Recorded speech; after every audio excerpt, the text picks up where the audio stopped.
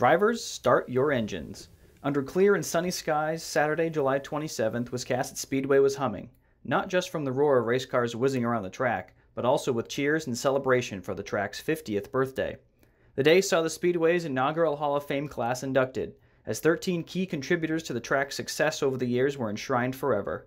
Three of the inductees, Teddy Polino, Dave St. Clair, and Doug Ripley, have ties to the Midcoast, as they had, and in St. Clair's case continue to have, successful careers. Well, it means a lot. I mean, it, I got inducted into the Maine Motorsports Hall of Fame last year, and uh, didn't really have a lot to say because it kind of I didn't know what to say. I guess I'd never been here before.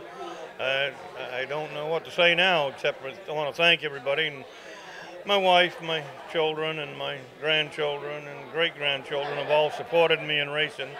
They don't really want me to race, but they haven't they haven't put me to rest yet, but they'd like to. It's really, really exciting. I never believed I'd ever going to get there. I thought I should be, but I'm here now. It's quite an honor. It's great to be recognized for things that you do, you know, no matter what you do. It's nice to be recognized for it with our Hall of Fame committee, we met several times over the winter, and one of the main things we needed to dig into was the criteria of what it what we wanted our inaugural class to be, and and we wanted a group of individuals who had lasting impact on the success specifically of Wiscasset Speedway. Uh, there are drivers who will be in our Hall of Fame someday um, that have Hall of Fame level success at tracks throughout the state, but we really wanted to concentrate on drivers, staff members, contributors, pioneers that, that had a, a big impact specifically on this track. So uh, I think our committee did a really good job, and we've got a good cross section of what's made this track successful. 72 year old Dave Boss Hog St. Clair continues to make laps around the track in the Pro Stock division. The new Hall of Famer once owned Wiscasset Speedway, purchasing the track in 1991 and selling it in 2007 with his wife Sandra. St. Clair won a championship in 2003, made history as he raced alongside his son and grandson at one point, and captured his most recent victory in 2016 at the age of 69. I don't know, I just like to drive. I, I, I still think I can do it. I, haven't won a race since 16. I won two that year, and then I got in a bad wreck, and then I got cancer last year. I had to take the year off, but I'm better shape than I've been 10 years right now, and I'm looking forward to tonight. Well, I, I didn't drive much when I owned the track. My son did, and my grandchildren, but I didn't drive much. It's a, we always had a pretty good following, and I raced in other tracks, but I didn't do a lot here.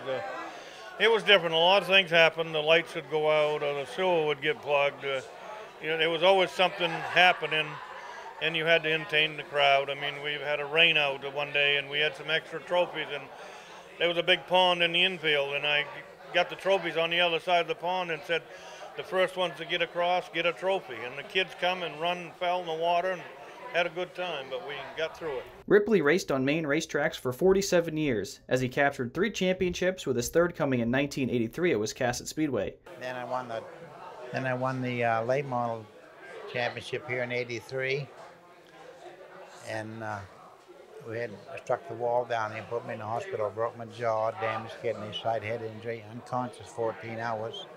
I hit that wall up Unity 10 years before that. Earl Jones got into me there, One Eye Jones, and, and, put me in the wall. Six more days I spent in the hospital. Then uh, in 2001, yeah, I won the championship here in my flagpole car. In 2002, I won another championship. Ripley amassed 75 career wins around the state.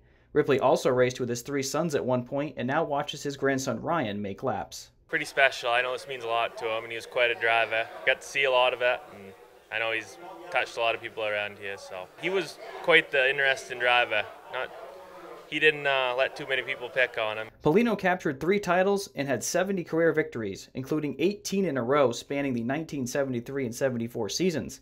Polino also won a 100 lap race at Unity Raceway, beating NASCAR legend Bobby Allison. Didn't set in, I don't think, until about a year of uh, that winter, you know, that we won 18 races in a row.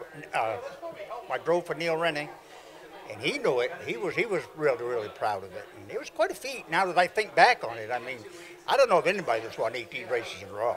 Neil and I were one of the first ones that really started maintaining hobby cars. I mean, most people would bring the cat, and I did it first. We'd, we'd move in, race, take it home, pack it. Next week, load it up, bring it back. But there were some weak points in cars. One of the things that we kept an eye was like the timing chain would break. And there was a pin in the rear end that held the spider gears together, and that pin would wear. And we always would, every week, we'd, we'd take, we'd take the rear end apart every week and check that. But the timing chain would go maybe three or four races, we'd just automatically change it. So, so we didn't have any breakdowns. You know, that's one way to win 18 races in a row. A large crowd gathered for racing that evening as Pro Stocks, Thunder 4 Minis, 4 Cylinder Pro, and Super Streets took to the asphalt. Dan Trask captured the win in Super Streets with Jefferson's Mike Hodgkins finishing second. Jeff Prindle won in 4 Cylinder Pro, while Curtis Anderson won in Thunder 4 Minis. Chess Williams of Hope finished 8th. The night was capped off by a 50 lap pro stock event as Kevin Douglas was first across the finish line when the checker flag waved in the number 18. Thomaston's Rodney Brooks finished 6th. St. Clair had a tough night at the track though.